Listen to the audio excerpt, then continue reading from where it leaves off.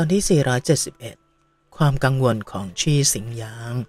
เพียงพริบตาเวลาก็ผ่านไปเกือบครึ่งเดือน ซึ่งในระหว่างนี้ก็ได้มีข่าวอนาปวดใจส่งมาอย่างนิกายกับปีสวนอย่างต่อเนื่อง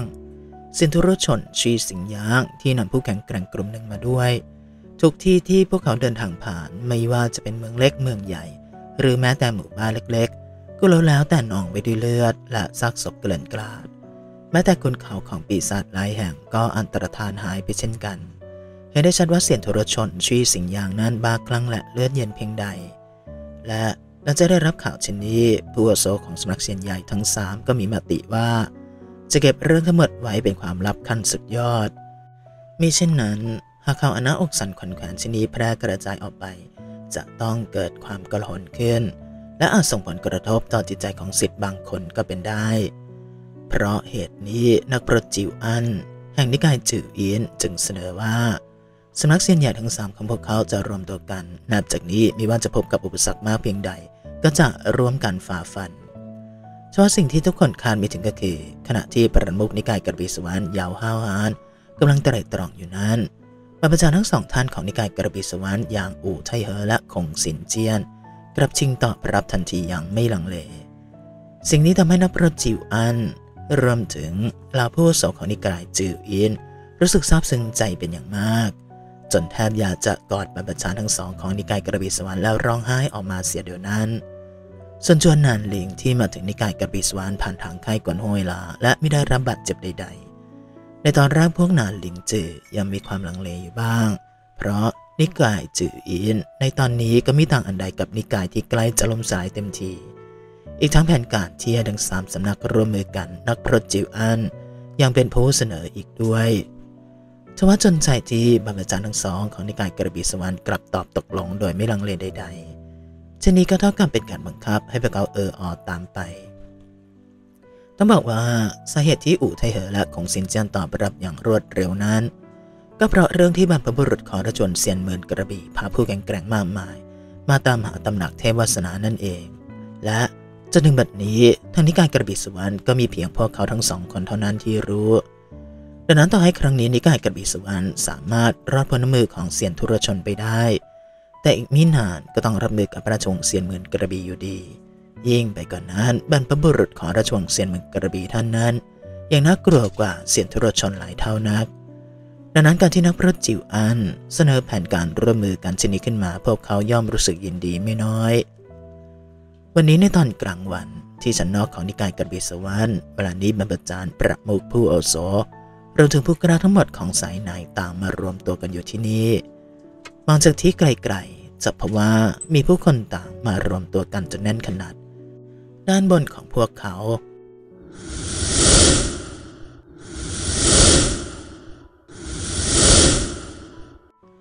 มีไอกระเบียอันรุนแรงหลายสายพุ่งขึ้นมา เสียงทะลุผ่านอากาศดังอย่างต่อเนื่องเห็นได้ชัดว่ามีการเปิดใช้ค่ายกลป้องผู้พาที่ทำปรมคนแรกสร้างไว้แล้ว ท่านพี่อู่ค่ายกลป้องผู้พาของนิกายกระบี่สวรรค์ของท่านไม่ธรรมดาจริง ๆ นักประจิ๋วอันที่ยืนอยู่ข้างๆอู่ทะเยอเงยหน้าขึ้นมองท้องน้าอดไม่ได้ที่จะทอถอนใจออกมาค่ายกลชนี้เกรงว่าต่อยเป็นข้าที่ตกอยู่ในนั้นก็คงยากที่จะรอดไปได้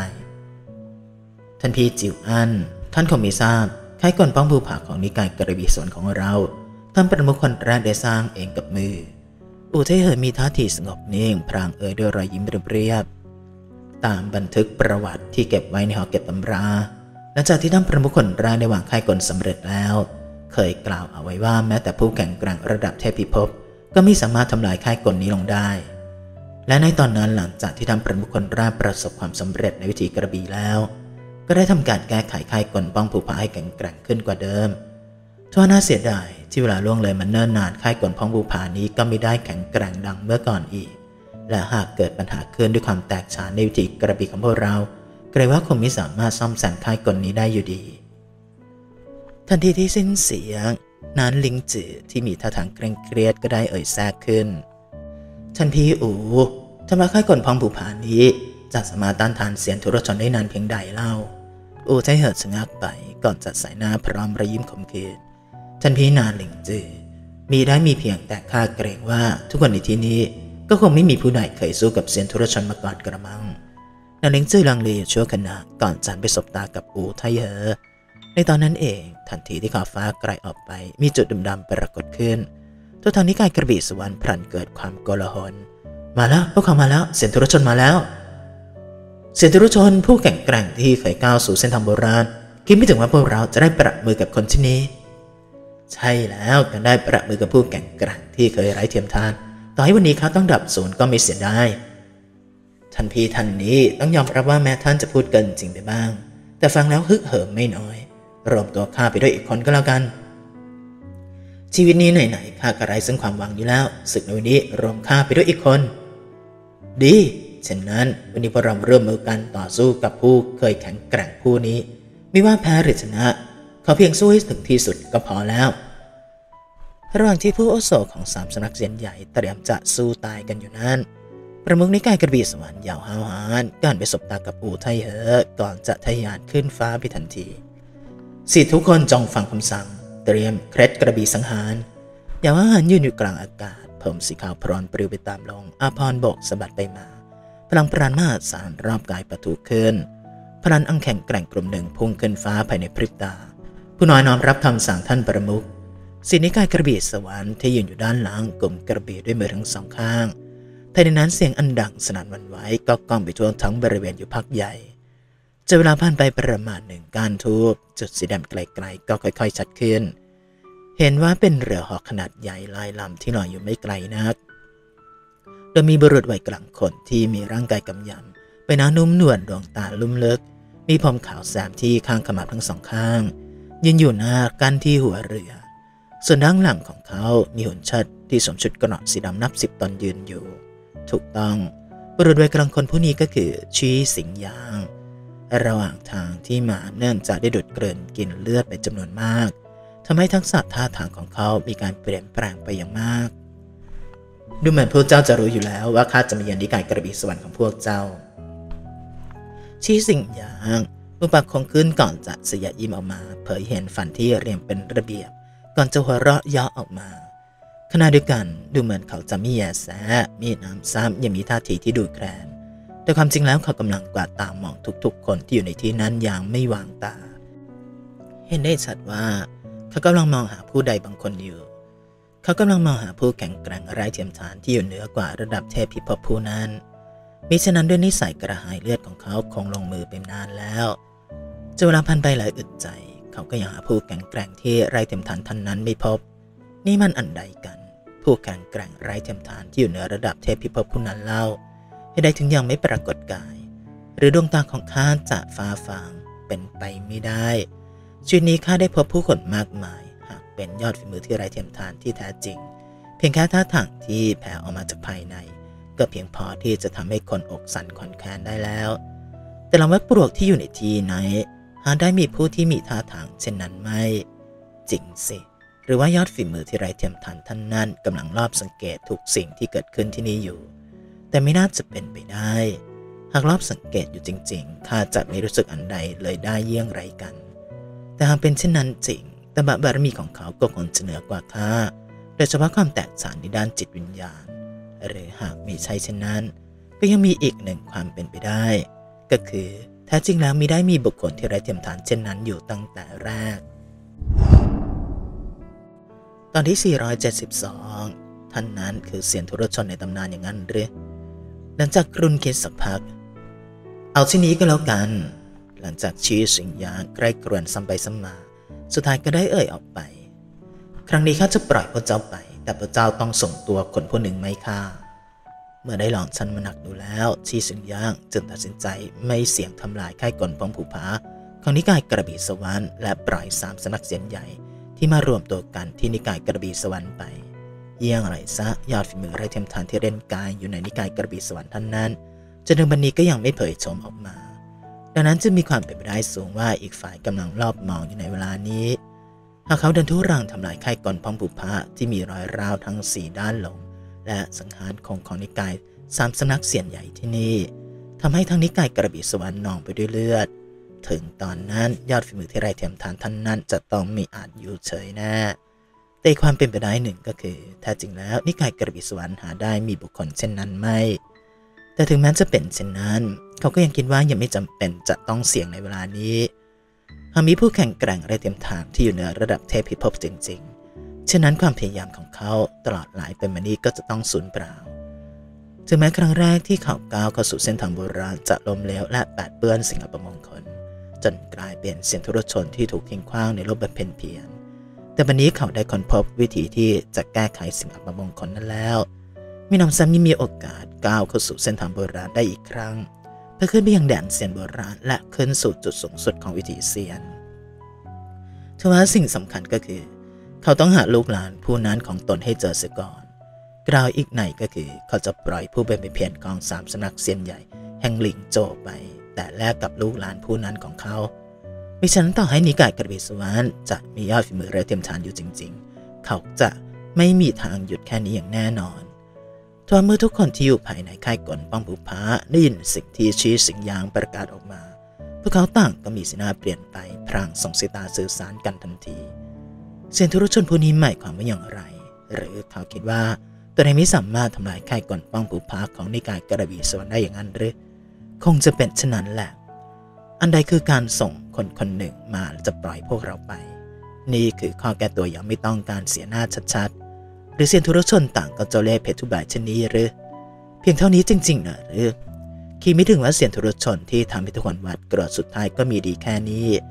แค่แค่คนที่มีสภาพสุดสมยังไม่อาจทำลายได้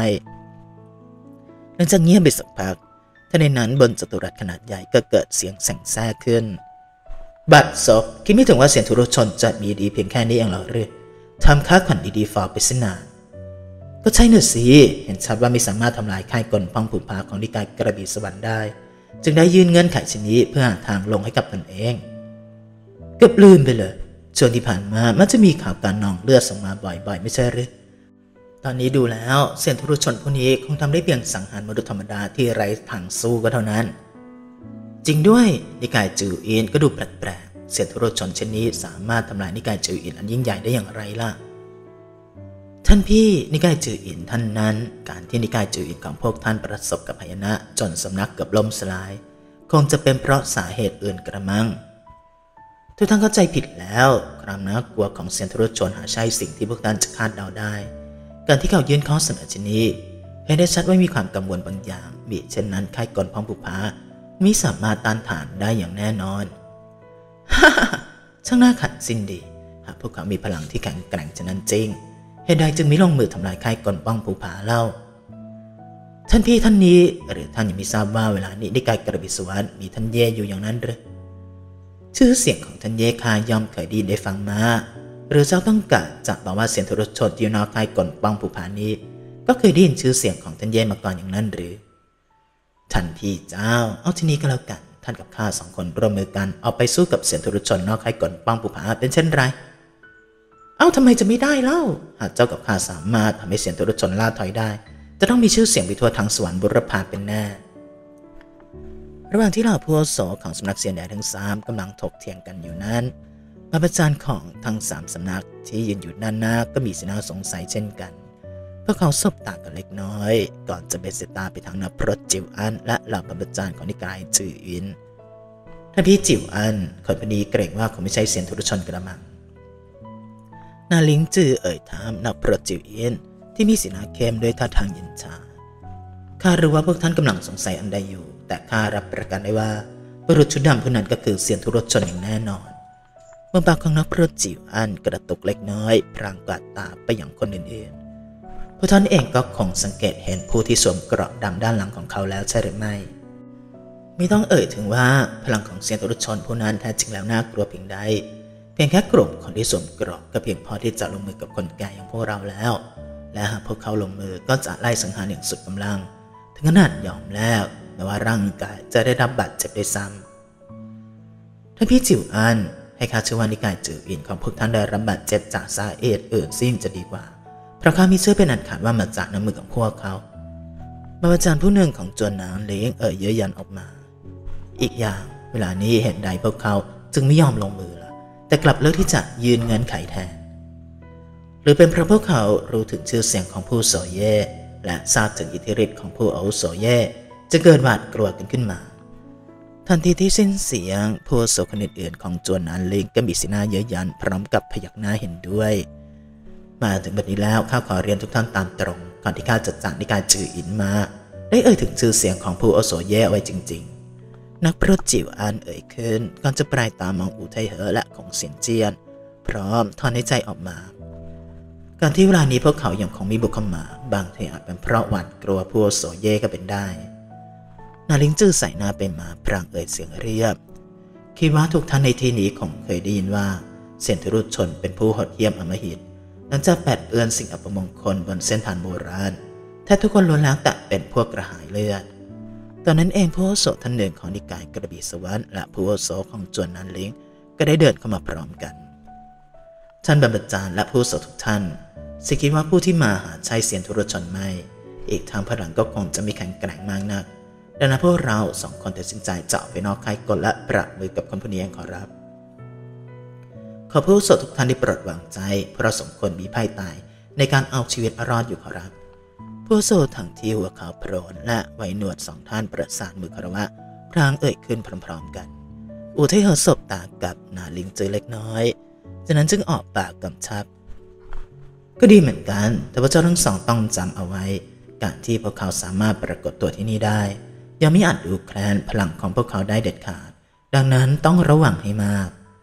ต้องยอมรับว่าเมื่อปชนะกับพวกชีสิงยาง ที่อยู่ด้านนอกค่ายก่อนป้องภูผา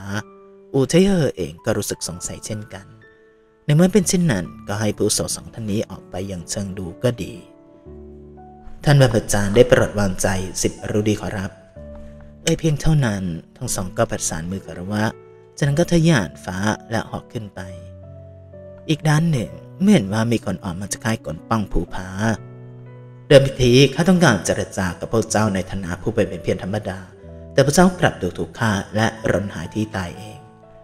ดวงตาลุ่มลึกของชีสิงยางพลันแผ่ไอสังหารออกมาพร้อมกับเอ่ยสิ่งเข้ม ในเมื่อเป็นเช่นนั้นข้าก็ไม่จำเป็นต้องเล่นละครอีกข้าจะทำให้พระเจ้าได้ลิ้มรสความสิ้นหวังที่แท้จริง ไม่กี่อึดใจต่อมา เมื่อผู้สอทั้งสอง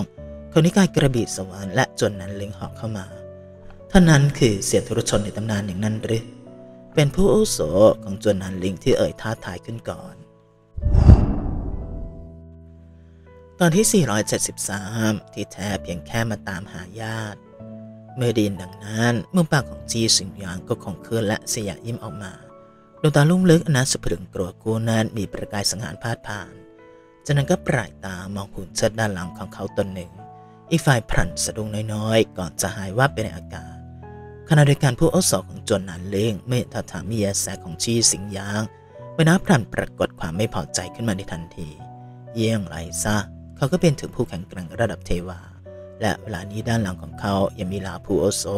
และสิทธิ์จากสามสำนักเซียนใหญ่จับตายอยู่เมื่อถูกเมินเช่นนี้ผู้โอโซเช่นเขาจึงถือว่าเสียหน้าอย่างมาก ยิ่งไปกว่านั้นเขายิ่งมาเพื่อท้าดวลผู้โซของจนนานลิงยิ่งคิดก็ยิ่งโมโห ดูถ้าเสียงทรุชนในตำนานคงมีดีแค่ในสินะ ข้ามาเพื่อท้าดวลแต่เจ้ากลับมีกล้าแม้แต่จะขานรับ จู่ๆผู้โซของจนนันลิงก็ระเบิดเสียงหัวเราะออกมาดังลั่น ในเมื่อขี้ขลาดถึงเพียงนี้ เช่นนั้นมาทางใดก็กลับไปทางนั้น ยังไม่ทันสิ้นเสียง ผู้โซของจนนันลิงจู่ๆก็เหมือนสัมผัสได้ ถึงไอสังหารอนัสพึงกลัวบางอย่าง สีหน้าจึงแปลเปลี่ยนเป็นตกใจในทันที พลันพลังปราณรอบกายปะทุขึ้นเท่ากับถูกฝ่ามืออันเย็นเยียบราวกับเหล็กกล้าขยุมศีรษะของเขาไว้เสียแล้ว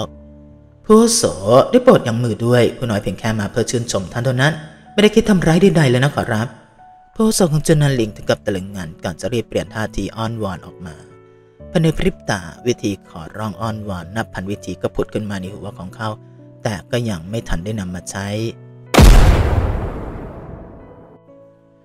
จู่ๆมีเสียงดังสนั่นวันไหวดังกึกก้องไปทั่วหมอกเลือดน่ากลัวพุ่งขึ้นเหนือศีรษะของเขา และตอนนี้ก็พบว่าที่ด้านหลัง เขาได้มีหุ่นเชิดสวมชุดกระสีดำตัวหนึ่งยืนอยู่ ส่วนผู้อาวุโสคณิกายกระบี่สวรรค์ท่านนั้นระหว่างที่เขาร้องขึ้นด้วยความตกใจ จึงได้กระตุ้นพลังวิญญาณออกมาจนถึงเขตสุด พร้อมปล่อยพลังทั้งหมดออกมา และหมุนกายหวังจะหนีไปนั้นร่างสีดำร่างหนึ่งก็ตามติดเรากับเงาก่อนจะลงไปอย่างอุกอาจ โดยใช้มือครั้งหนึ่งกระซวกไปที่แผ่นหลังของเขาก่อนจะทะลวงออกมาที่หน้าอก เลือดอันชุ่มโชกก็ทะลักออกมาในทันที เมื่อผู้โสดทั้งสองของนิกายกระบี่สวรรค์และจนนันเลียงตายด้วยน้ำมือของขุนเจิดตนหนึ่งของชีสิงยางท่ามกลางสายตาของทุกคน ภาพนี้ทำให้ผู้แข่งแกร่งของสำนักเสียนใหญ่ทั้งสามที่อยู่ภายในค่ายก่อนป้องภูผาเวลานี้ เราก็ตื่นขึ้นมาจากความฝันและรู้สึกขนพองสยองกล้าวหวาดกลัวไปตามๆกัน นี่มัน ผู้โสดระดับเทวาถึงสองท่านกลับถูกสังหารอย่างง่ายดายและอีกฝ่ายยังเป็นเพียงลูกสมุนตนหนึ่งเท่านั้น เพียงแค่ลูกสมุนกลับมีพลังแข็งแกร่งขนาดนี้ ฉะนั้นพลังของเซียนธุรชนจะน่ากลัวเพียงใดกัน นี่ก็คือเสียนธุรชนในตำนานอย่างนั้นหรือ น่ากลัวยิ่งนัก หลังจากเงียบไปชั่วขณะ เปิดจุดตรัสที่มีค่ายกลป้องผูผาปกคลุม ก็เกิดความกระหนขึ้นทันที ลูกสมุนแค่คนเดียวยังแข็งแกร่งขนาดนี้แค่ยกมือขึ้นก็สามารถสังหารผู้โสทั้งสองท่านได้แล้วฝีมือเช่นนี้ หรือว่าอีกฝ่ายจะเป็นผู้แข่งแกร่งระดับเซียนแล้วอย่างนั้นหรือ มีหนำซ้ำก็ยังมีลูกสมุนที่แข็งแกร่งถึงสิบคน นี่ก็เท่ากับว่าอีกฝ่ายมีผู้แข่งแกร่งระดับเซียนถึงสิบคนเลยนะสิจำนวนที่น่าตกใจเช่นนี้แม้แต่บรรพบุรุษของสามสำนักเซียนใหญ่ของพวกเราเกรงว่าคงต้องต่อสู้จนสุดกำลังเป็นแน่ยิ่งไปกว่านั้นยังมีเสียนทรุชนที่ยังไม่ได้ลงมือท่านนั้นอยู่ด้วย ตอนนี้ดูเหมือนว่าพวกเขามิใช่ไม่สามารถทำลายค่ายกองป้องภูผา แต่เป็นเพราะกำลังหวั่นเกรงอันใดบางอย่างอยู่ ใช่แล้วทันเย่ต้องเป็นทันเย่อย่างแน่นอน ระหว่างที่เหล่าผู้สอและสิทธิ์ต่างวิพากษ์วิจารณ์อยู่นั้นบรรพจารย์ของสามสำนักเซียนใหญ่ที่อยู่ด้านหน้าสุดถึงกับขมวดคิ้วแน่นเสนาดูดันท่าทางเต็มด้วยความเคร่งเครียด ตอนนี้พวกท่านก็ได้เห็นแล้วใช่หรือไม่ นักพรตจิ๋วอันเอ่ยขึ้น ทั้งสิบตนนั้นล้วนมีพลังแข็งแกร่งระดับเสียนขั้นกลางไปจนถึงขั้นท้าย อีกทั้งยังถูกเสียนทุรชนควบคุมจิตใจเอาไว้ ดังนั้นหากประมือกับพวกเขา ห้ามยั้งมือเด็ดขาดมิฉะนั้นจะหมดโอกาสมีชีวิตรอดในทันทีสินเสียงก็มีบัพจันอีกท่านของนิกายจืออินเอ่ยด้วยเสียงสันเทาบัพจันที่ดับสูญก่อนหน้านี้ของนิกายจืออินของเราเป็นเพราะประมาทศัตรู อีกทั้งอีกฝ่ายยังได้ใช้เคล็ดวิชาสังหาร โดยไม่ได้คำนึงถึงคุณธรรมใดๆทำให้สุดท้ายจึงไม่อาจเอาชีวิตรอดมาได้บาบาจารย์ของจวนนันหลิงสบตากัน ก่อนจะไปหาของเซนเจียนและอูทเยอท่านพี่ทั้งสอง อีกฝ่ายแข็งแกร่งถึงเพียงนี้เกรงว่าตายเพราะเราสู้จนตัวตายก็คงไม่มีทางเอาชนะได้อย่างแน่นอนอิงชราผู้หนึ่งของจวนนันลิงแม่มริฟิปากก่อนจะเอ่ยถามอย่างเชิงหากเป็นไปได้ข้าหวังว่าจะสามารถแจ้งเรื่องนี้ให้ท่านเย่ทราบในทันทีมิฉะนั้นสำนักเสียงทั้งสามของพวกเราเกรงว่าวันนี้จะต้องพบกับหายนะครั้งใหญ่เป็นแน่ทุกท่านคงจะยังไม่ทราบ เวลานี้ท่านเย่ยังของเขาชานบำเพ็ญเพียรอยู่อุเทเฮยกวาดตามองกลุ่มคนที่ยืนทำตาปริบๆก่อนจะใส่หน้าน้อยๆแล้วเอ่ยด้วยรอยยิ้มแห้งๆ ยิ่งไปกว่านั้นเขามองว่าหากมีใช้เรื่องขอกาบาดตายจริงๆ คงไม่สามารถไปรบกวนเขาได้ ทันทีที่สิ้นเสียง ที่สิบพี่อู่พูดมามีเหตุผล หากไปรบกวนการบบเปลี่ยนของท่านแย่ผลกรรมนี้เกรงว่าอาจหนักหนากว่าเสียงทุรชนตรงหน้านี้เสียอีกของสินเจียนรูปหนวดตนเองพร้อมเอ่ยเสริม อีกอย่างคิดว่าทุกท่านคงจะทราบดีและเคยสั่งสอนลาลูกศิษย์ไปแล้ว การบำเพ็ญเพียรเดิมทีก็คือการฝืนโชคชะตาและช่วงชิงวาสนาฟ้าดิน หากไม่ระวังย่อมไม่อาจฝืนคืนชีพได้อีก แม้การที่เสียนทุรชนบุกหลิงโจจะทำให้สำนักเซียนใหญ่ทั้งสามของเราเกิดหายนะครั้งใหญ่ แต่มองอีกมุมก็ดีเหมือนการทดสอบเช่นกันไม่ใช่หรือเมื่อได้ยินดังนั้นบรรพจารย์ของสำนักเสียงทั้งสามถึงกับพูดไม่ออก จริงด้วย ตอนที่พวกเขาเพิ่งก้าวเข้าสู่เส้นทางฝึกเสียนก็เคยได้ยินคำสอนเช่นนี้มาก่อน เวลาผ่านพ้นมาเนินนาน เมื่อพวกเขาได้ขึ้นมาอยู่ในจุดที่สูงระดับหนึ่งแล้ว ก็ได้พร่ำสอนสิทธิ์เช่นนี้ว่าการเพียรวิธีเสียนต้องกล้าฝ่าฟันอันตรายทวดนี้เมื่อต้องเผชิญหน้ากับวิกฤตถึงขั้นฆ่าล้างสำนักเช่นนี้พวกเขากลับจับไปร้องขอให้ท่านเย่ช่วยเสียแล้วคำตั้งใจเดิมในการบำเพ็ญเพียรเล่า วลาผ่านไปไม่กี่อึดใจบัพชานของสำนักเสียนทั้งสามก็มีท่าทีอ่อนลง และดูเหมือนว่ารัศมีที่แผ่ออกมาจากภายในจะเกิดการเปลี่ยนแปลงครั้งใหญ่ ถูกต้องด้วยคำกล่าวนี้ของของเซนเจียน จึงทำให้พวกเขารับกับรู้แจ้ง จิตใจเกิดการเปลี่ยนแปลงครั้งใหญ่ ร่างของนานหลิงจือได้ระเบิดพลังอันแข็งแกร่งออกมาในทันที พร้อมกับเอ่ยเสียงดังอย่างทรงพลัง ท่านพี่ของกล่าวถูกแล้วก็แค่สู้ตายสักครั้ง อยู่อย่างสงบสุขมานานจนแทบลืมการแสวงหาตัวตนที่แท้จริงในยามสิ้นหวังไปเสียแล้วจากนั้นก็มีคนอีกผู้หนึ่งหัวเราะเสียงดัง ต้องยอมรับว่าการปรากฏกายของเสียนทุรุชน เป็นหายนะอันใหญ่หลวงก็จริง แต่สำหรับคนแก่อย่างพวกเราแล้ว ถือเป็นโอกาสอย่างหนึ่งด้วยเช่นกัน ใช่แล้ว เป็นหรือตายอย่าได้ไปยึดติดจงทำในสิ่งที่อยากทำตบะบารมีของข้าชะงักอยู่ในระดับนี้มาพันปี ต่อให้วันนี้ต้องตายข้าก็จะไม่เสียดายอีก ขณะที่บรรพจารย์ของสำนักเสียนายทั้งสามต่างมีสนาลงอกและเต็มไปด้วยความฮึกเหิมนั้นข้าใช้โอกาสโคจรเป็นครั้งสุดท้าย แค่ส่งตัวคนผู้หนึ่งมาข้าก็จะปล่อยพวกเจะไป ชี้สิงยางเที่ยงอยู่นอกค่ายกลป้องผู้พระมุมปากกระตุกเล็กน้อยพรางเอ่ยยังหมดความอดทนมิฉะนั้นวันนี้พระเจ้าจะต้องตายอยู่ที่นี่ หา ผู้แข่งแกร่งของสำนักเสียนใหญ่ทั้งสามมีสนาเปลี่ยนไปอีกครั้งพรางหันไปมองหน้ากันอย่างไม่ได้นัดหมาย เพียงส่งตัวคนผู้หนึ่งให้ก็จะสามารถหยุดหายนะที่เกิดขึ้นได้อย่างนั้นหรือหากเป็นเช่นนั้นจริงทำไมถึงไม่ยอมรับข้อเสนอล่ะหลังจากนิ่งเงียบไปชั่วขณะบรรพจารย์ท่านหนึ่งของจวนนานเล้งก็ได้เอ่ยขึ้น ท่านต้องการให้เราส่งตัวผู้ใดให้อย่างนั้นหรือชีสัญญางเอ่ยขึ้นเสียงเรียบ ลูกหลานคนหนึ่งของข้า ลูกหลานหรือ ลูกหลานคนหนึ่งของเขา ที่แท้เขาก็แค่มาตามหาญาติหรอกเลยทีนี้ก็ง่ายอะสิ เพราะเป็นเรื่องที่สมควร เมื่อได้ยินดังนั้นทุกคนจากสำนักเสียงทั้งสามตั้งตะลึงเล็กน้อยก่อนจะเผยรอยยิ้มยินดีมิทราบว่าลูกหลานของท่านอยู่ในสำนักใดและมีนามว่าเยี่ยงไรชีวดเซียพรสวรรค์สูงส่ง คิดว่าหนึ่งในพวกเจ้าคงมีคนเคยได้ยินชื่อ ตอนที่ 474 ชีวันเซียปรากฏตัว ชีวันเซียสิสำนักใดล่ะ เมื่อดินดังนั้นทุกคนต่างหันมองหน้ากันทันที ท่านพี่สำนักของท่านมีสิทธิ์ชื่อนี้หรือไม่ สายนอกข้าไม่แน่ใจ แต่สายในมิมีสิทธิ์ที่ชื่อนี้อย่างแน่นอนข้าสาบานได้แต่ชนี้ก็ไม่ถูกนะ ฟังจากนำเสียงของอีฝ่ายแล้ว ชิวนเซียผู้นี้หาใช่คนธรรมดาไม่ กลับกันน่าจะเป็นผู้ที่มีความสามารถที่ ไม่ธรรมดาอย่างแน่นอน หรือว่าความจริงแล้วไม่มีสิทธิ์ชื่อนี้ เพียงแค่อีกฝ่ายต้องการกลั่นแกล้งพวกเรา ไม่น่าจะใช่มิฉะนั้นอีกฝ่ายคงทำลายค่ายก่อนป้องผูผาไปนานแล้วล่ะ ระหว่างที่ทุกคนต่างถกเถียงกันอยู่นั้นดวงตาของอูไทเฮอก็เปล่งประกายบางอย่างออกมา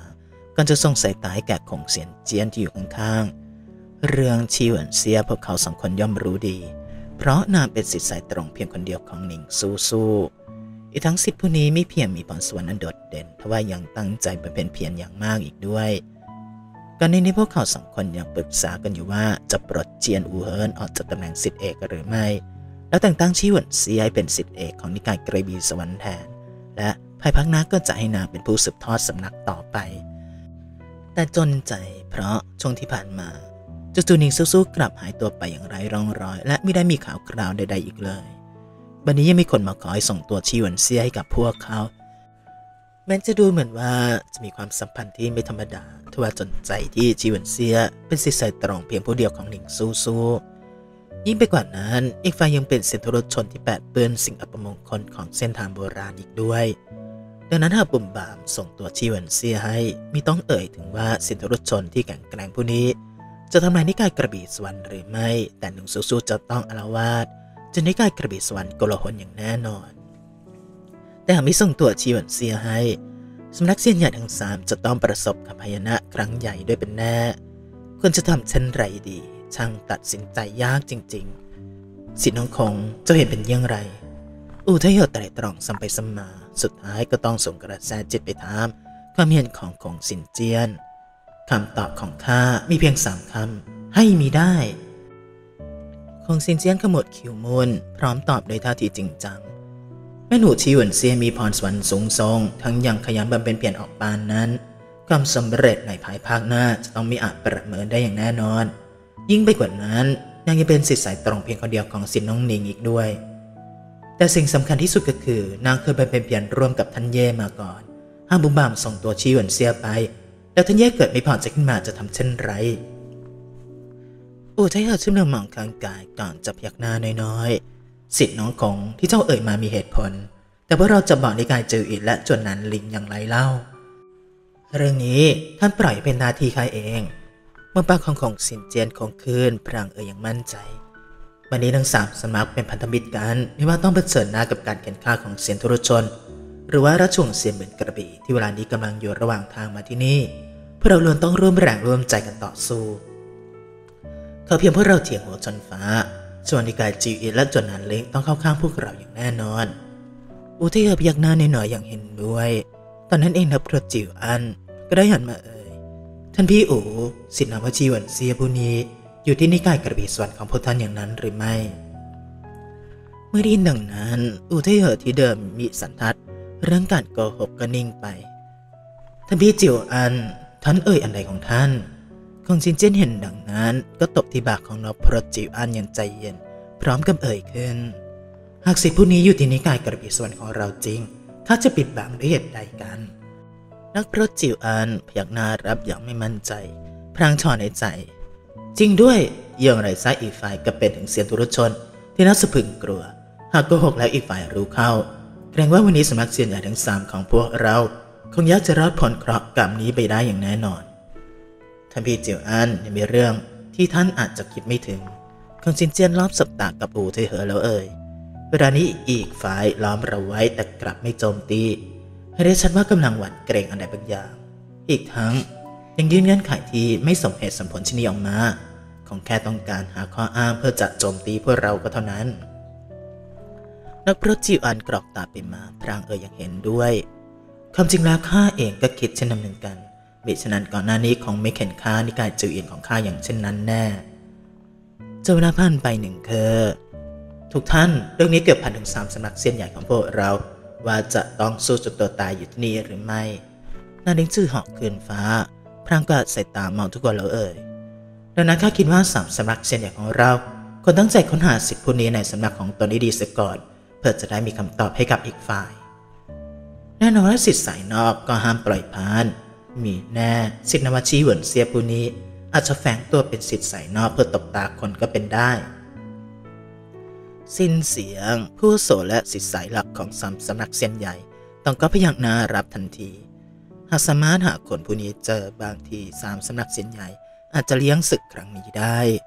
อีกอย่างเขาเพียงส่งคนผู้นี้ไปเสียคิดว่าอีฝ่ายคงไม่ลงมือทำอันใดในเร็วๆนี้เป็นแน่ ทว่าขณะที่ผู้โสรวมทั้งสิทธิสายหลักของสามสำนักเซียนใหญ่กำลังหุ่นกายเตรียมจะออกไปค้นหาตามที่ต่างๆ นั้นจู่ๆร่างอรชรร่างหนึ่งก็ออกมาจากส่วนลึกของในกายกระบี่สวรรค์ชั้นใน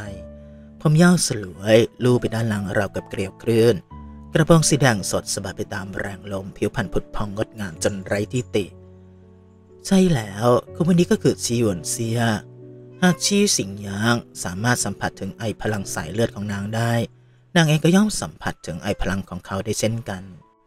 เดิมนางคิดที่จะมาเป็นเพียงที่ญาติของสตรียกต่อ เพื่อทำความเข้าใจจิตแท้ของวิธีดนตรี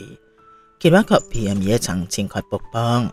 แต่ท่านบรรพบุรุษเข้ามาใกล้ก็คงมีกล้าทำอะไรบ่มบามต่อหน้าของเย่ชังชิงอย่างแน่นอน แต่นางรู้ดีว่าชีสิงยางที่มีชีวิตอยู่มายาวนานพวกนี้ยิ่งก้าวสู่เส้นทางโบราณล้มแล้วจนตกต่ำกลายเป็นเสียนทุรชนนั้นมีความโหดเยี่ยมมากเพียงใด ดังนั้นเมื่อนางใครครวญดูแล้ว จึงได้ตัดสินใจออกมาเผชิญหน้ากับบรรพบุรุษของตนท่านนี้มิเช่นนั้นหากนางไม่ยอมปรากฏตัวสวนิกายกระบีสวรรค์จะต้องนองไปด้วยเลือด แล้วทั้งทั้งลิงโจก็จะประสบเคราะห์กรรมนี้ไปด้วย แน่นอนว่ายังมีอีกเรื่องหนึ่ง ซึ่งถือเป็นเรื่องที่สำคัญที่สุด นั่นก็คือตอนที่นางยังเป็นองค์หญิงผู้ทรงส่งของราชวงศ์กูหยางเซียน เสด็จพ่อเคยบอกนางว่า ขาเพียงภายพักหน้าท่านบรรพบุรุษหยุดร่างนางได้สำเร็จ ก็มีความเป็นไปได้สูงที่จะขจัดสิ่งอัปมงคลบนกายได้ และกลับไปสู่จุดสูงสุดได้อีกครั้ง และยังสามารถก้าวสู่เส้นทางโบราณ เพื่อขึ้นเบียงแดนเส้นโบราณ และก้าวสู่จุดสูงสุดของวิธีเซียน ด้วยเหตุนี้หลังจากไตรตรองดูแล้วนางจึงตัดสินใจออกมาเผชิญหน้าเพื่อยุติหายนะในครั้งนี้ด้วยตนเอง ในเวลาเดียวกัน หลังจากเห็นชีเวนเซียที่สมกับกระโปรงสีแดงสดห่อเข้ามา คนของสามสำนักเซียนใหญ่ก็สามารถเข้าใจถึงฐานะของผู้ที่มาได้ในทันทีให้ได้ชันว่าไม่มีสิ่งใดผิดพลาดแล้วก็ สตรีที่สวมอภรสีแดงนางนี้ก็คือชีวันเซียกที่เสียนธุรชนคอยส่งตัวให้นั่นเองขณะเดียวกันอู่ไทเหอและคงสินเจียนที่มีสีหน้าเปลี่ยนไปเป็นหน้าพวกเขาเต็มไปด้วยความสับสน เด็กคนนี้มาได้อย่างไร หรือว่านางจะสัมผัสได้ตั้งนานแล้ว ใช่คงสัมผัสอันใดบางอย่างได้เป็นแน่แต่หากส่งตัวนำไปจะบอกกับหนิงสู้ๆและทันเย่อย่างไร และจากลังเลอยู่สักพัก อู่ที่เหอและของสินเจนกระกัดฟันและทะยานขึ้นฟ้าไปในทันที ตอนที่ 475 การตัดสินใจของหนิงสู้สู้วันเสียจะมาทำอันใดที่นี่เวลานี้กันฮะ เมื่อชีวันเสียเหาะเข้ามาของสินเจียก็ยกมือข้างหนึ่งขึ้นควางทางนางเอาไว้ พร้อมกับเอ่ยด้วยน้ำเสียงปวดใจชีวันเสียมีท่าทีสงบนิ่ง ในตาของคู่นั้นเต็มได้ความสับสนท่านเป็นประจารทั้งสอง พวกท่านอยากขวางทางข้าเลยเจ้าค่ะริฟิปากแดงสดของนางเพเยอขึ้นเป็นรอยยิ้มบางๆ วันนี้หากข้าไม่ปรากฏกาย เกรงว่าธนิกายกระบี่สวรและหลิงโจจะต้องประสบกับพยานะครั้งใหญ่เป็นแน่ บรรพบุรุษราชวงศ์ปู่หยางเซียนของข้าผู้นี้เป็นคนเช่นไร มีนิสัยเยี่ยงไรข้าย่อมรู้ดีกว่าผู้ใด ได้ยินดังนั้นเวินเซียเจ้าเป็นสิทธิกายกระบี่ส่วรรค์ของข้าทั้งยังเป็นสายตรงเพียงคนเดียวของสินน้องหนิง ต่อให้วันนี้พวกข้าต้องต่อสู้จนตัวตายก็ต้องปกป้องเจ้าให้จงได้อูที่เฮอถอนหายใจก่อนเจออย่างจริงจัง แต่เจ้าก็มีควรมาปรากฏกายเวลานี้ เพราะเยอะเลยซะ ตอนนี้สามสมัครเสียใหญ่ก็เป็นพันธมิตรกันแล้ว เชียนเซียนิ่งไปเล็กน้อยดวงตาก็งามแดงเรือขึ้นและคลอดไปด้วยหยาดน้ำตา ท่านบรรพจารย์ นี่เป็นชะตากรรมของข้า พวกท่านไม่สมควรต้องมารับมันแทนข้าเจ้าค่ะเชียนเซียสะอื้นก่อนจะเอ่ยพร้อมหยดน้ำตา ข้าคือผู้ที่ฟ้ากำหนด หากข้ามียอมปรากฏตัว ก็จะมีสามารถเลี้ยงหายนาในครั้งนี้ได้ เอ่ยเพียงเท่านั้นเชียนเซียก็คงคำนับให้แก่อูเทเอและของสินเจียน จากนั้นก็เดินอ้อมทั้งสองคนเพื่อตรงไปข้างหน้ามินาชิวันเซียก็เดินมาเหยียดที่ด้านหน้าของค่ายก่อนป้องผูผาเพียงลำพัง นางเงหน้าขึ้นมองไปทางชีสิงยางที่กำลังเสียยิ้มอยู่พรางเอ่ยน้ำเสียงจริงจัง ท่านบรรพบุรุษข้าต้องการจะพบเสด็จพ่อและเสด็จแม่ แล้วก็ท่านอาเอียนสืออีที่สิงยางเพื่อมีร่างกายกำยำหัวเราะออกมา เด็กน้อยหากเจ้ายอมตามข้ากลับไป จ้าต้องการจะพบผู้ใดล้วนมิใช่ปัญหาชิวนเสียสายหน้าโดยตาทางแน่วแน่หากข้ายังมีพบเสด็จพ่อเสด็จแม่และท่านอาเอียนสืออีที่นี่ฉะนั้นท่านก็คงต้องผิดหวังแล้วจ้ะค่ะไอถึงตรงนี้ชิเวียนเสียก็ชูนิ้วชี้และนิ้วกลางขึ้นเป็นกายเย็นว่าเปล่งออกมาที่ปลายนิ้วก่อนจะชี้เข้าที่วางคิ้วตนเอง พลังปราณนี้แฝงด้วยจิตแท้ของวิธีดนตรี หากเข้าไปในร่างของข้าแล้ว จิตวิญญาณและกายเนื้อของข้าจะมาลายหายไปในพริบตา ขอท่านบรรพบุรุษได้โปรดทำตามคำขอของข้าด้วยเจ้าค่ะเซียนเสียศบตาชีสิงยาง พร้อมเอ่ยออกมาอย่างเฉียบขาด เมื่อเห็นดังนั้นมือปากของชีสิงยางก็กระตุกอย่างไร้ทางเลือกก่อนจะหันไปส่งสัญญาณให้ลูกสมุนสามสี่คน ที่ยืนอยู่ไม่ไกลนักผ่านไปครู่หนึ่ง คุณพ่อมรณะที่สวมชุดเกราะสีเงินสามคนก็ยกองค์ที่บรรจุร่างคนที่โชคไปด้วยเลือด มาคนละใบและหยุดอยู่ที่หน้าราวกัน พลังปราณไหลเวียนรอบกายของชีสิงยาง ก่อนจะสะบัดแขนข้างหนึ่ง องค์ที่มีรางชคเลือดอยู่ในนั้นทั้งสามใบค่อยๆลอยขึ้น และตรงไปทางชีเหวินเซียที่ไม่ไกลนัก เด็กน้อยจะอย่าได้โทษเขาเลยหากไม่ใช่เพราะเห็นแก่เจ้า เกรงว่าพวกเขาทั้งสามคงถูกฆ่ากลืนกินไปนานแล้วชีสิงหยางอธิบายอย่างคังคังคูคูชีเหวินเซีย ชีหวินเซียไม่มีท่าทีหยาแสใดๆนางหาได้สนใจชีสิงหยางไม่นางไปจับจ้องไปที่คนทั้งสามที่กำลังหายใจรวยรินอยู่ตรงหน้า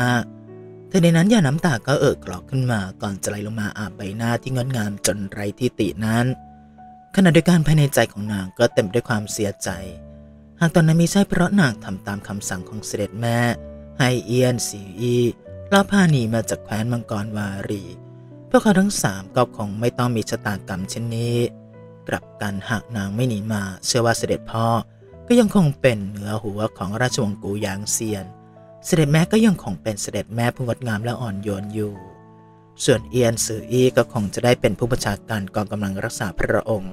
มีทรัพยากรประเพณเพียนมากมาย กลายเป็นผู้แข็งแกร่งในวิถีเซนผู้หนึ่งก็เป็นได้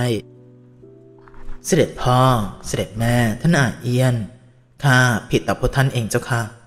เชียนเสียเช็ดน้ำตาบนใบหน้าทิ้งเงียบๆพร้อมเอ่ยออกมาอย่างเศร้าส้อยจากนั้นชี้หวนเสียกันไปมองทางสุดลึกของนิกายกระบิสวรรค์ชั้นในชั่วขณะก่อนฉันไปทางอู่ไทเหอและของสินเจียน ที่มีท่าทีสับสนต่อจากนั้นนางก็ก้าวไปด้านหน้าหนึ่งก้าวแล้วข้ามค่ายก่อนปังผูผาออกไป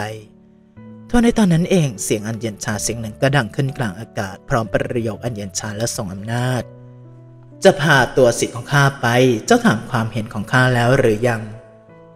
สิ้นเสียง สตรีผู้งดงามสนอภรสีขาวนางหนึ่งก็ปรากฏกายขึ้นบริเวณขอบฟ้าที่ไกลออกไป ถูกก้าวย่างของนางช่างสง่างามยิ่งนัก หากดูเป็นเผินเรากับนางค่อยๆก้าวอย่างช้าๆ แต่เพียงพริบตากลับสามารถไปได้ไกลนับร้อยจังผ่านไปไม่กี่อึดใจนางก็ปรากฏกายขึ้นที่ด้านนอกค่ายก่อนป้องภูผาและขวางชี้หวนเสียเอาไว้เสียแล้ว อาพรสีขาวบริสุทธิ์ราวกับหิมะ ผมยาวสลวยราวกับเกลียวคลื่น ด้านหน้ามีหมอกลอยอบอวนจนมองเห็นไม่ชัดราวกับภาพฝันจอเพียงแค่ไอพลังวิถีเสียงที่แผ่ออกมาจากร่าง ก็ทำให้คนตกตะลึงได้แล้วนั่นก็คือหนิงซูซูที่หายตัวไปพักใหญ่แล้วนั่นเอง แม้เวลานี้จะมองเห็นใบหน้าของนางไม่ชัด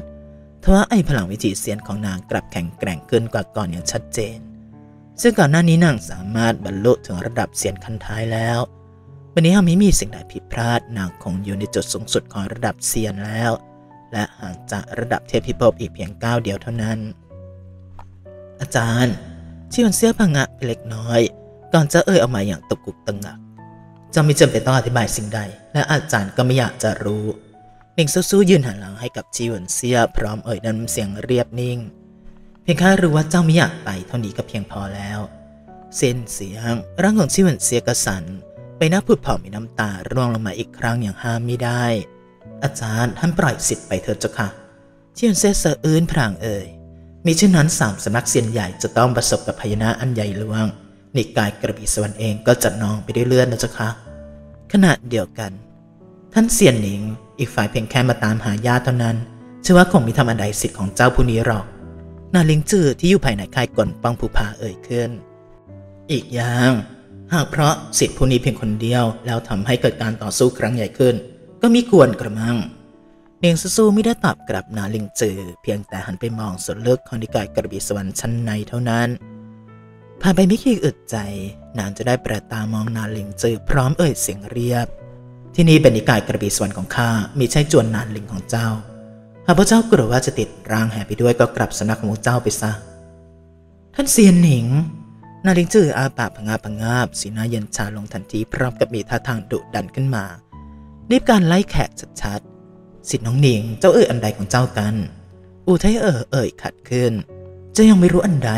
ตอนนี้สามสนักเสียนใหญ่ของเราเป็นพันธมิตรกันแล้ว ต่อให้มีว่าจะประสบขอกรรมอันใดพวกเราก็จะรวมมือรวมใจกันต่อสู้ หนิงสู้แค่เสียงฮือออกมาเบาๆก่อนจะเอ่ยยังไม่แย่แสสิทธิพี่อูท่านต้องการให้ข้าและหวนเซียออกไปจากนิกายกระบี่สวรรค์อย่างนั้นหรืออูที่เหิดพรันนิ่งงานท่าทางของเขาเต็มด้วยความระอา ของสินเจียงกลับมีสนาเข้มขึ้นพร้อมกับเอ่ยเสียงดัง สินน้องหนิง เจ้าเอ่ยอันใดของเจ้า ก็แค่สู้ตายเท่านั้น ข้าจะสู้ไปกับพวกเจ้าสิทธิอาจารย์เองหนิงสู้ๆพยักหน้ารับกว่าตามมองคนของสำนักเสียนใหญ่ด้านล่าง บัดนี้ข้าได้แสดงท่าทีชัดเจนแล้ว วันนี้มีว่าอย่างไรก็จะไม่มีทางส่งตัวชิวนเซียให้พวกมันเด็ดขาด หากพระเจ้าต้องการจะหนีไปก็จงไปซะตั้งแต่ตอนนี้ เอ้เพียงเท่านี้พลังปราณรอบกายหนึ่งสู้ๆประทุขึ้น ความเมืองเปล่าโดยรอบเกิดการบิดเบี้ยว และสั่นสะเทือนจนเกิดละลอกคลื่นเป็นชั้นๆ ขณะเดียวกันพลังอันแข็งแกร่งที่ไร้ที่เปรียบพลันระเบิดออกมาบุกตอนที่ 476 เปิดศึก คิดไม่ถึงว่าในบรรดาผู้แข่งแกร่งระดับเซียนมากมาย จะมีเพียงสตรีเช่นเจ้าที่ยังมีความกล้าอยู่บ้าง ชี้สิ่งอย่างที่เวลานี้ยืนมือไพร่ลังอยู่หน้าราวกันแสดยิ้มออกมา คนอย่างเจ้าถือว่าไม่เลวเลย แต่ต่อให้เจ้าจะอยู่จุดสูงสุดของระดับเซียน แต่สำหรับข้าเจ้าก็ยังไร้ความสามารถอยู่ดี แต่ช่างเถิดเห็นกันหน้าของเด็กคนนั้นข้าจะมีค่าเจ้า และจะมีนำเจ้ามาทำเป็นหุ่นเชิด แต่ข้าใจเจ้าได้เห็นกับตาว่าข้าก้าวเข้าสู่เส้นทางโบราณ และขึ้นเบียงแดนเซียนโบราณได้อีกครั้ง เพื่อไปสู่จุดสูงสุดของวิธีเซียนได้อย่างไร เอ่ยเพียงเท่านี้ชีสิ่งยางกระเพงสมาธิจะนั่งหนุดชดด้านหลังตนหนึ่งพลันหายว่าไปก็จะพุ่งเข้าใส่หนิงสู้ขณะเดียวกันหนิงสู้ๆเองก็ไม่ประมาทนางเพ่งสมาธิ จากนั้นพินโบราณตัวหนึ่งก็ลอยอยู่ตรงหน้าของนางวันเซียที่ผ่านมาอาจารย์ไม่ได้ชี้แนะอันใดให้เจ้ามากนัก วันนี้เจ้าจงยืนอยู่ตรงนี้เพื่อสัมผัสวิธีดนตรีของอาจารย์ให้ดีก็แล้วกันเองซูซูเอ่ยออกมาด้วยน้ำเสียงจริงจังก่อนที่นิ้วเรียวยาจะดีดสายพินเบาๆ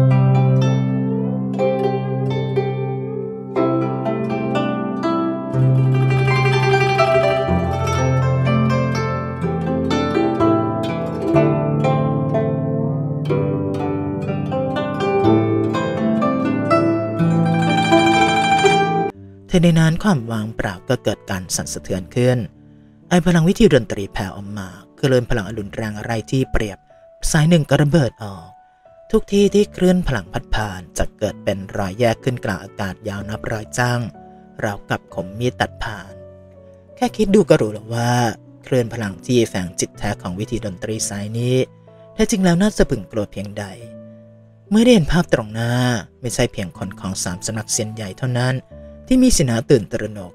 แม้แต่ชีสิงยางเองก็อดไม่ได้ที่จะขมวดคิ้วน้อยๆเห็นได้ชัดว่าฝีมือที่หนิงสู้ๆแสดงออกมานั้นเหนือกว่าที่พวกเขาคาดหมายเอาไว้มาก มิเพียงมีตบะบารมีสูงสุดของระดับเซียน อีกทางความรู้แจ้งในวิธีดนตรียังอยู่ในระดับที่พวกเขาไม่สามารถคาดเดาได้ช่างน่ากลัวยิ่งนัก วินาทีต่อมาเพียงเชื่อประกายไฟแลบหุ่นเชิดที่พุ่งเข้ามาหมายสังหารหนิงสู้ๆตอนนั้น ร่างของเขาเกิดสั่นเทาจู่ๆแขนข้างหนึ่งก็มีเปลวไฟลุกโชนขึ้นมา เปลวไฟชนิดนี้น่ากลัวยิ่งนัก มันร้องแรงและลุกไหม้จนความว่างเปล่ารอบๆปิดเบี้ยวไปหมด จากนั้นก็มีเสียงระเบิดดังกึกก้องขึ้น ความว่างเปล่า ภายในรัศมีรอยจ้างเกิดการบิดเบี้ยว มีรอยแตกร้าวปรากฏขึ้น ก่อนจะพังทลายลงในที่สุดประกายไฟสว่างจัดจ้าสาดกระเซ็นออกมาราวกับไม้ไฟนับหมื่นถูกจุดขึ้นในวินาทีนี้ พลังฟ้าดินมหาศาลพวยพุ่งออกมาไม่หยุดและทำลายทุกสิ่งทุกอย่างเพียงไม่นานเลือดสีแดงสันก็ปรากฏขึ้นกลางอากาศ เพียงแค่ประจันหน้ากันแม้ว่าหุ่นเชิดตนนี้จะสามารถต้านทานคลื่นพลังพุ่งเข้าใส่ได้และเกราะที่เสวมอยู่ก็แตกออกจึงทำให้แขนข้างหนึ่งของเขาถูกคลื่นพลังทำลายล้างจะมีเลือดไหลทะลักออกมา และแผลลึกจนเผยเห็นกระดูกสีขาวโพลนทว่าแม้จะได้รับบาดเจ็บแต่หุ่นเชิดตนนี้ก็ยังไม่ยอมแพ้ เขาก้าวเดินออกไปพร้อมพุ่งตัวเข้าโจมตีด้วยความรวดเร็วอีกครั้งส่วนหนึ่งสู้ๆด้านหน้าของนางยังคงมีอมอบปิดบังจนมองใบหน้าไม่ชัดเจน ดังนั้นเวลานี้จึงไม่มีผู้ใดได้เห็นสีหน้าของนางทว่าหลังจากพลังมาสารรอบกายของนางปะถูกขึ้นดวงแสงอันเจิดจ้าเราก็ประเดพลังด้านหลังก็ปรากฏขึ้น จากนั้นนิ้วอันเรียวยาวของนางก็ดีดไปที่สายพินอีกครั้ง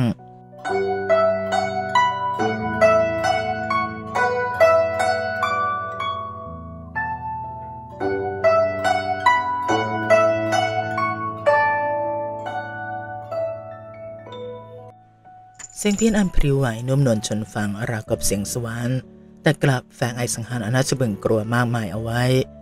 คือพลังที่แผ่จิตแท้ของวิทยาดนตรีอันรุนแรงหลายซ้าย พุ่งออกมาอย่างต่อเนื่องทีนี้นั้นก็เกิดรอยแยกยาวนับรอยจังขึ้นมามากมายทำให้เหตุการณ์ที่มีความน่าสะพึงกลัวมากขึ้นเรื่อยๆส่วนหัวเชิดตนนั้นเมื่อทั้งสองข้างกำมัดแน่นร่างทั้งร่างลุกชนด้วยเปลวเพลิง วงแสงสีเลือดมากมาย ปรากฏขึ้นด้านหลังของเขา เรากับเทพหมานก็มีปาน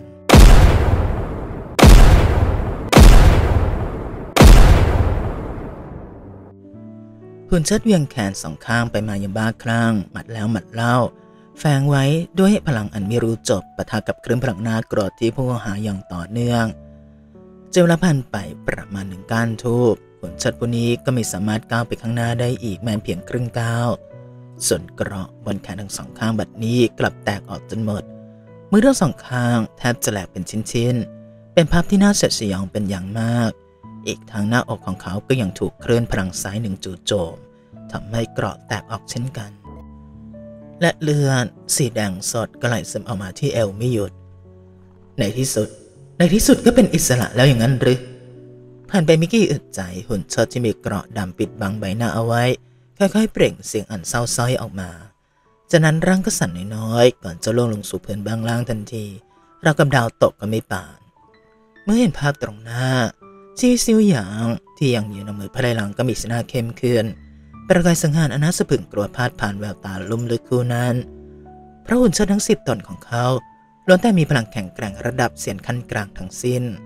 อีกทั้งการหลอมหุ่นเชิดแต่ละตนมิเพียงต้องใช้สมบัติวิเศษอันนับไม่ถ้วน แต่ยังต้องแบ่งจิตวิญญาณส่วนหนึ่งของตนใส่เข้าไปอีกด้วย แน่นอนว่าการที่เขายอมลงทุนมากมายเพียงนี้เพื่อหลอมหุ่นเชิดมิเพียงใช้ผู้มันให้ลงมือแทนเขาแล้ว แต่ที่สำคัญเมื่อเขาสามารถชำระสิ่งอัปมงคลบนกายได้แล้ว จะกลับไปอยู่ในจุดสูงสุดของวิธีเซียนอีกทั้งสามารถก้าวสู่เส้นทางโบราณได้อีกครั้ง เขามีความคิดที่จะใช้หุ่นเชิดเหล่านี้ รับพยานะและสิ่งอัปมงคลแทนตนเอง วันนี้เมื่อหุ่นเชิดถูกทำลายไปตนหนึ่ง ชีซิวยางจะมีค่อยสบอารมณ์เท่าไหร่นัก เจ้าทำลายหุ่นเชิดของข้าไปตนหนึ่ง ฉะนั้นข้าจะต้องนำเจ้ามาหลอกเป็นหุ่นเชิดแทนเสียแล้ว ชีซิวยางแค้นเสียงฮือออกมาก่อนจะเอ่ยขึ้นในน้ำเสียงเย็นชา สิ้นเสียงเขาก็เบ่งสมาธิอีกครั้ง จากนั้นหุ่นเชิดสี่ตนก็พลันหายตัวไปก่อนแปลงร่าง เป็นเงาและเหาะไปด้านหน้า อีกด้านหนึ่งอูเทเหอและของสินเจียนที่ยังอยู่ในค่ายกลปังภูผา มีสีหน้าเคร่งเครียดขึ้นมาทันทีสิทธิ์น้องคง แม้ว่าบทเพลงนี้ของสิทธิ์น้องหนิงจะทรงพลัง แต่ก็ต้องใช้พลังอย่างมาก พวกเราจะนิ่งดูดายชนีไม่ได้อีกแล้วข้าเองก็คิดเช่นนั้นเหมือนกันแม้สิทธิ์น้องหนิงจะมีตบะบารมีระดับเซียนคันท้าย แต่การที่นางเกิดการบรรลุติดติดกันชนีเกรงว่ารากฐานเต่ายังคงไม่มั่นคงพอหากยังต่อสู้ต่อไปชนนี้มีชาเร็วนางต้องทนไม่ไหวเป็นแน่ หลังจากปรึกษากันแล้วอูไทเหอและของเซียนเจียนสบตากัน จากนั้นทั้งสองก็หายตัวไปทันที ก่อนจะพุ่งออกไปนอกค่ายกลป้องภูผาเห็นดังนั้น ทุกท่านในเมื่อเปิดศึกแล้วเช่นนั้นพวกเราก็ไม่อาจเฝ้าดูอยู่ห่างๆได้อีกแล้ว นักพรตจิวอันที่อยู่ด้านล่างเม้มริมฝีปากอันแห้งผากก่อนจะเอ่ยขึ้นในน้ำเสียงจริงจัง หากพวกพี่อู่พ่ายแพ้ขึ้นมาเช่นนั้นพวกเราก็คงมีมีโอกาสชนะได้ ไอ้จมนักพรตจิวอัน และผู้อาวุโสที่เหลืออยู่ของนิกายจื่ออินก็ส่งสายตาสื่อสารกันจากนั้นทุกคนพลันทะยานขึ้นฟ้า และออกไปด้านนอกค่ายก่อนป้องภูผา ทุกท่านเห็นเป็นเช่นไรหลังจากนิ่งเงียบสักพัก นานลิงจือก็ถอนหายใจออกมาอย่างจนปัญญาพรางเอ่ยขึ้น เวลานี้พวกเราสามสนักเซียนใหญ่เป็นพันธมิตรกันแล้วพวกเราคงมิอาจผิดสัญญาได้แล้วกระมัง เรื่องมาถึงขั้นนี้แล้วคงทำได้เพียงต้องสู้จนตัวตายไปข้าง นิชราของจนอันลิงผู้นั้น แม้มริมฝีปากเล็กน้อย และเอ่ยขึ้นอย่างจนปัญญาเช่นกัน หากวันนี้เราทอดทิ้งนิกายกระบีสวรรค์ไป วันหน้าหากเสียนทุรชนเกิดบุกมาที่จนนั้นหรือของเราจะทำเส้นไรเล่าจากนั้นก็มีบรรพจันอีกท่านเอ่ยต่อ อย่างน้อยที่นี่ก็ยังมีทันเย่เป็นแนวป้องกันสุดท้ายของพวกเราจนนันเลยของเราคงไม่ถึงขนาดสิ้นชื่อไปจากลิงโจเรากระมัง หลังจากไตร่ตรองดูแล้วบรรพจารของจนนันลิงก็ห่อออกไปนอกค่ายก่อนป้องผู้ผาเช่นกัน เมื่อดังนั้นชี้สิงยางจะได้ส่งหุ่นเชิดที่เหลือทั้งหมดออกไปในทันที เพื่อเตรียมเปิดศึกกับเหล่าบรรพจารของสามสำนักเซียนใหญ่